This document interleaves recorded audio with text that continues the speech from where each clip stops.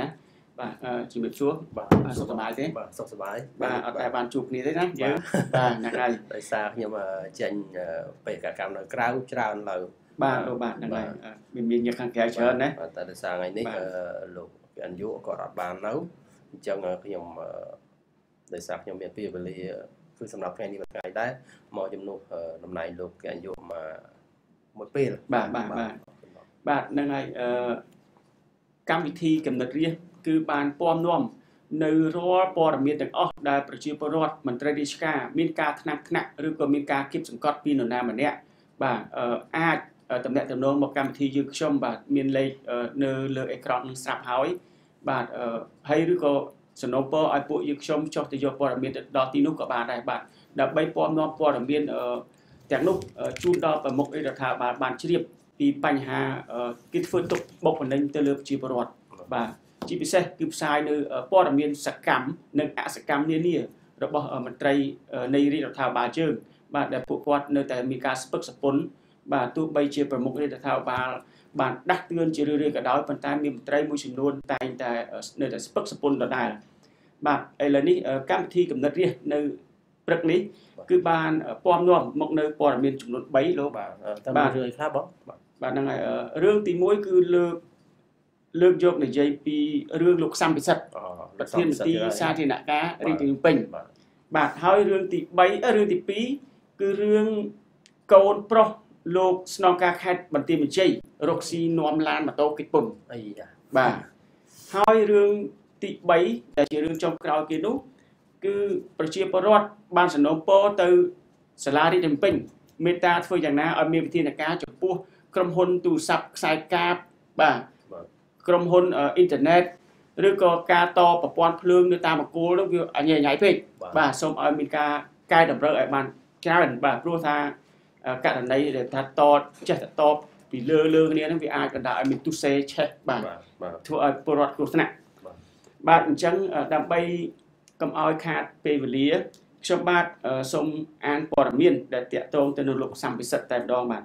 លោកសំពិសិដ្ឋពលរដ្ឋរិះគន់ថាអសកម្មបាទ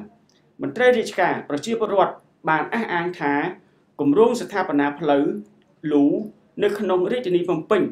មុននឹងកើតចេញជារូបរាងត្រូវឆ្លងកាត់ការត្រួតពិនិត្យរបស់លោកសំពិសិដ្ឋប្រធានមន្ត្រីសាធារណការរាជធានីភ្នំពេញបាទពិសេសស្ថាបនាលឿនឬយឺត មានគុណភាពឬក៏អត់ក៏មន្ទីរនេះត្រូវតាមដានជាប់ជាប្រចាំផងដែរបាទ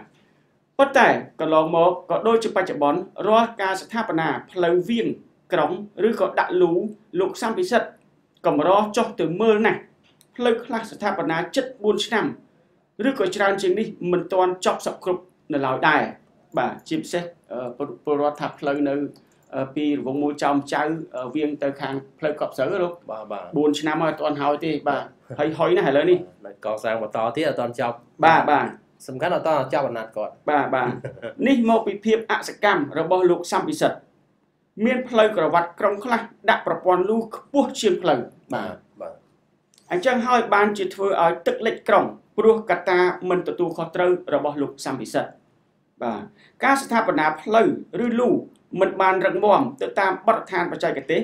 ធ្វើមុខខូចក្រោយឬក៏ធ្វើក្រោយខូចមុខព្រោះតែភាពកំសោយរបស់លោកប្រធានមន្ត្រីនេះតែម្ដងគេអាចនិយាយបានថាប្រហែលជាមានការខុបខិតជាមួយម្ចាស់គម្រោងព្រោះលោកសំសិទ្ធមានទួនាទីត្រួតពិនិត្យលើគុណភាពរាល់សំណង់ទាំងអស់នោះចុះបើលោកសំពិសិដ្ឋអសកម្មគ្មានសមត្ថភាព មិនចេះទទួលខុសត្រូវខ្ពស់ខົບខិតជាមួយអ្នកម៉ៅការស្ថាបនាតើឲ្យលូនៅផ្លូវទាំងនោះមានគុណភាពមួយដេចនឹងកើតទៅ បាទនេះប្រជាពលរដ្ឋក៏បានដាក់ជាសំណួរអញ្ចឹងណាលោកបាទបាទបាទយើងឃើញស្រាប់ហើយផ្លូវលូក្នុងក្រុងឬក្រៅក្រុងគ្មានគុណភាពយូរអង្វែងនោះទេព្រោះតែលោកសំវិសិទ្ធប្រធានមន្ត្រីរូបនេះសម្លឹងឃើញតែប្រយោជន៍មិនចោះទៅមើលផ្លូវឬលូ បណ្ដោយឲ្យក្រុមហ៊ុនម៉ៅកាស្ថាបនាប្រទេសផ្ដាស់តាមអំពើចិត្តករណីផ្លូវនិងលូនេះកន្លងមក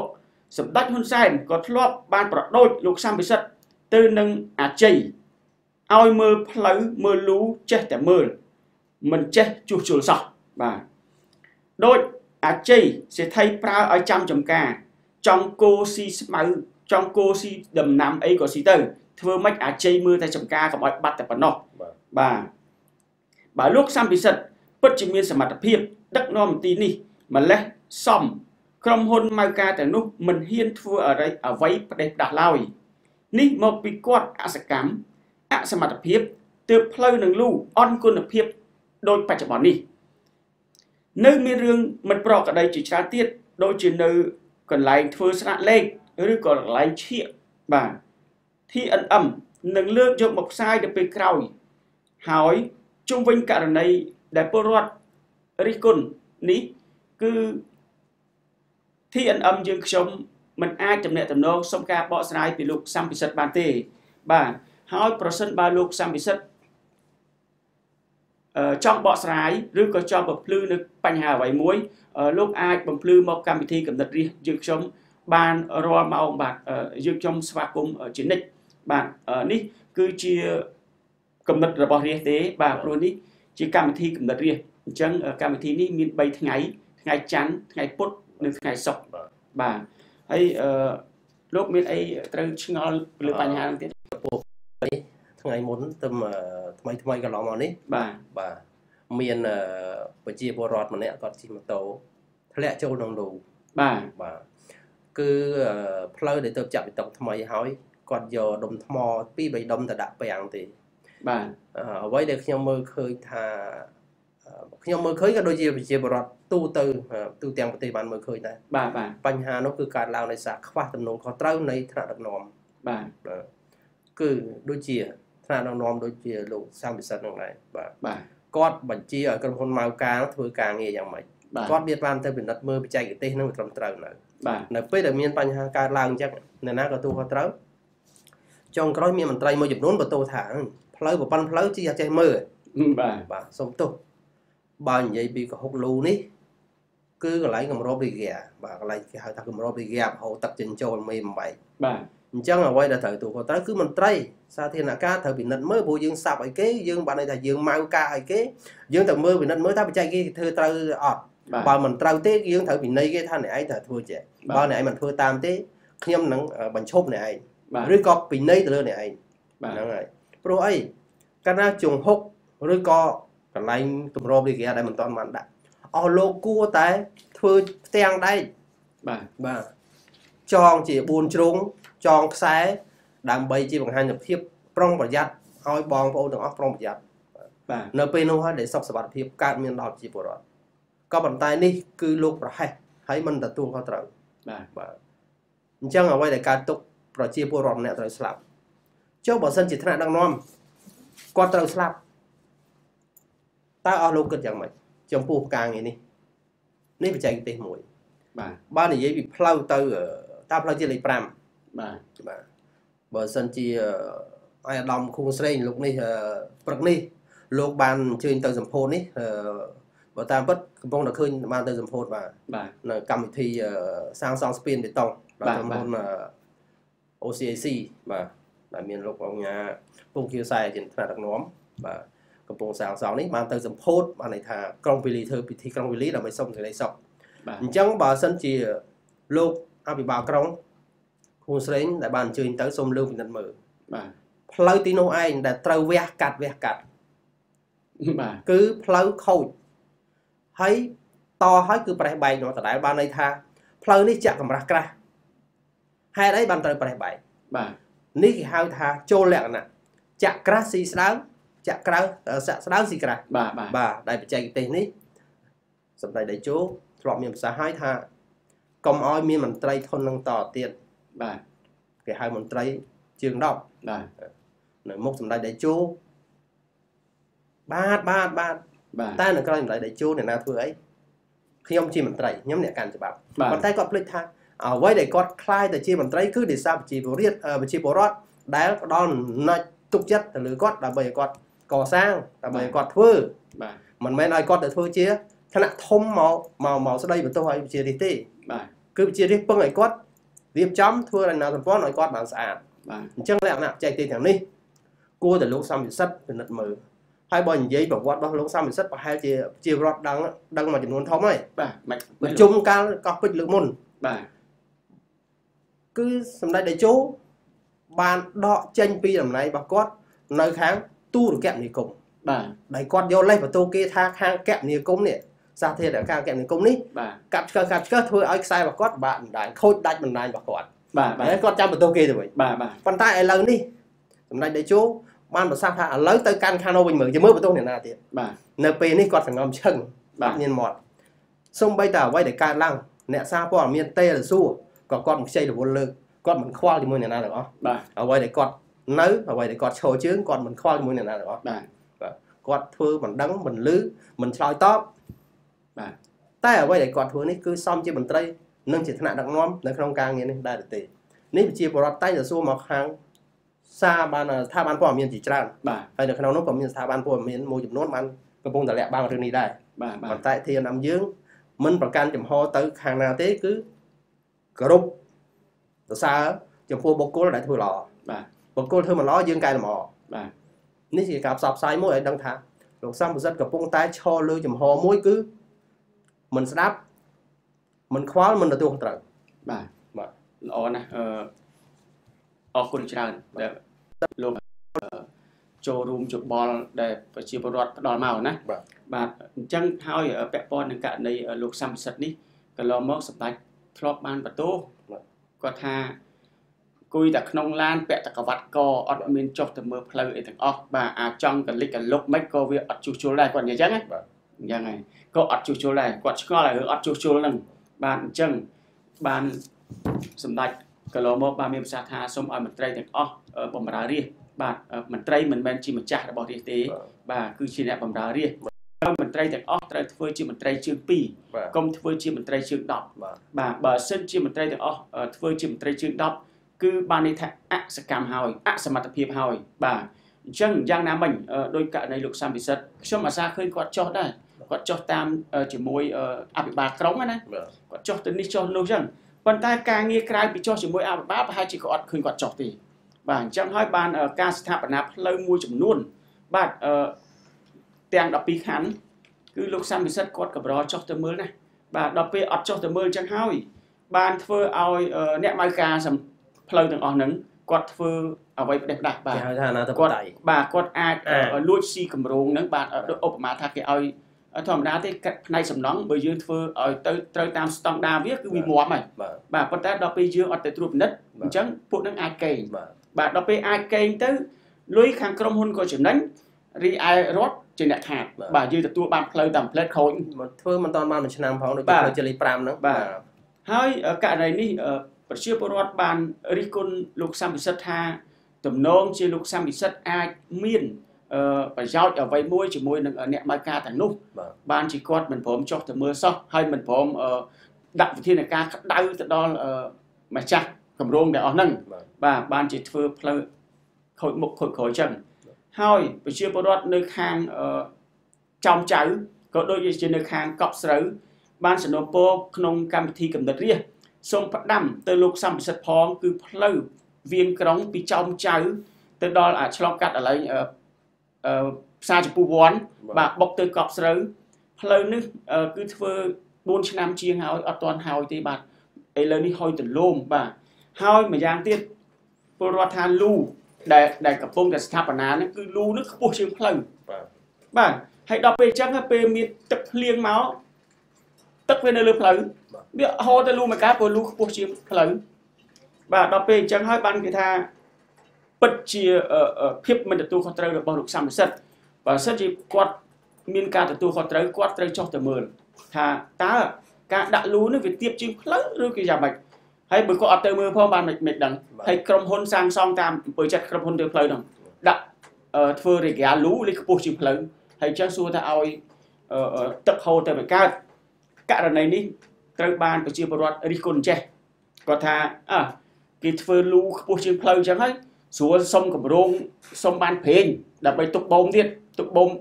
ទឹកពីផ្លូវយកដាក់លូអូបាទភាសាចឹងបាទភាសារលុយបាទបានលុយមួយសាទៀតបាទបាទអាហ្នឹងគេធ្វើអញ្ចឹងដើម្បីអឺអឺអឺស្រួលកុំឲ្យធ្វើកម្រងសុំលុយកុំឲ្យសាធារណខាងសាធារណការរាជធានីភ្នំពេញខាងមន្ទីរហ្នឹងមានភាពទំនេរពេកបាទហ្នឹងហើយអឬក៏អាចថាទំនេរពេករកលុយមិនបានពិតគួរពិតជាគួរឲ្យសោកស្ដាយបាទបាទសម្រាប់អឺការងាររបៀបនេះបើប្រជាពលរដ្ឋគាត់តែងតែរអ៊ូរបៀបនេះអញ្ចឹងគួរតែលោកសំពិសិដ្ឋចេះមានអារម្មណ៍មួយគាត់ថា តើត្រូវធ្វើយ៉ាងម៉េចដើម្បីឲ្យប្រទេសជាតិខ្លួនឯងរីកចម្រើនធ្វើយ៉ាងម៉េចឲ្យរាជធានីភ្នំពេញទៅជា